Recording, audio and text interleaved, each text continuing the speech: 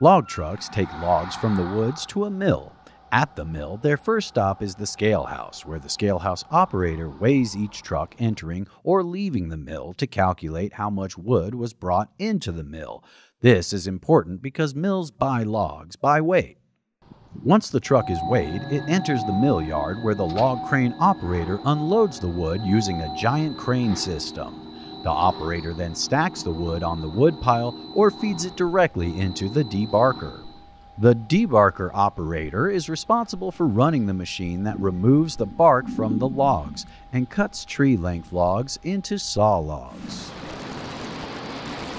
Each saw log then enters the sawmill where it is evaluated by a scanner to identify the most efficient use of that wood.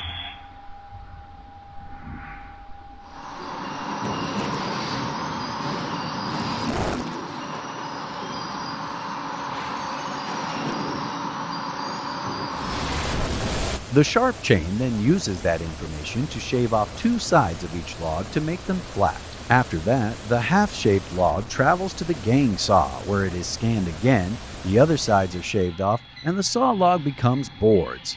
The gang saw operator is responsible for making sure the mill does not become jammed and that the scanners are accurate. The boards then enter the trimmer line where they are scanned again, then trimmed to length to achieve the most value out of each board.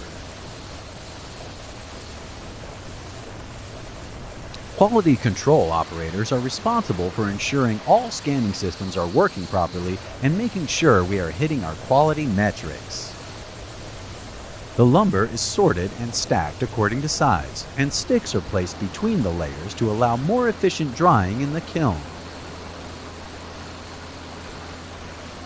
The lumber is then placed in the kiln to be dried by blowing hot air around the wood.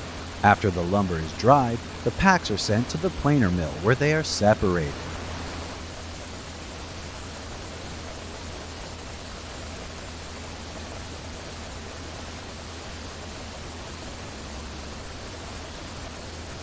The planer mill smooths the rough, dry lumber.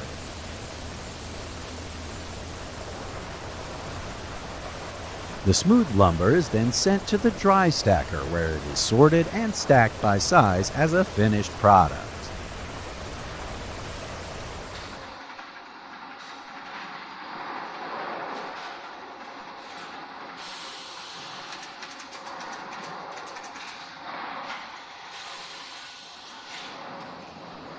The packs of lumber are sent to the labeling and stamping station where an operator prepares it for transport.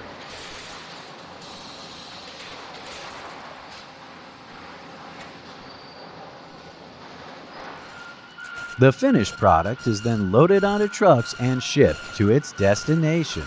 A person can get a job at a sawmill with no formal education or technical training, but if you are interested in obtaining a technical degree, you can learn more from your local community college.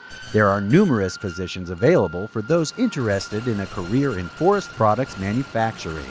If you enjoy working with your hands, are safety conscious, efficient, and enjoy technical thinking, then a career in forest products manufacturing is one you should consider.